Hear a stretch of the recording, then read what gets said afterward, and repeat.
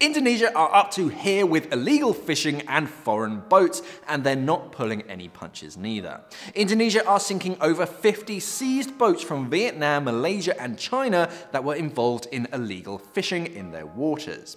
Susi Pujiastuti, the fisheries minister, has said that this action was necessary to warn neighboring countries to back off and that Indonesia is serious about combating illegal fishing. They will take your stuff and they will sink it to the bottom of the ocean where it can form a new coral reef system in the future lax regulations basically allowed foreign boats into Indonesian waters, and it is decimating their waters and their economy. Since 2014, when President Joko Widodo took office, hundreds of foreign vessels have been sunk, over 50% of them from Vietnam.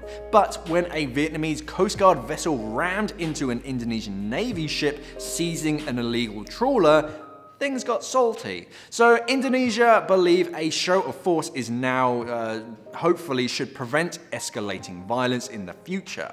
Uh, if we don't act firm, they will be even more daring.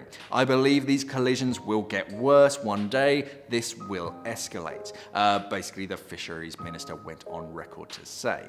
The surrounding waters are still disputed though. China thinks it owns this bit, but Indonesia thinks it's theirs. They've even gone as far as naming the southernmost reaches of the South China Sea as the North Natuna Sea, and it's Indonesia's own exclusive economic zone. So, nah. basically, things are going pretty frosty and uh, around Indonesia, but we're getting some new wrecks out of it. Silver lining, I suppose. Thanks for watching, guys, and safe diving. We are an online dive store serving the UK and the world for all your diving equipment needs. So why not visit us at simplyscuba.com or click the box on your screen.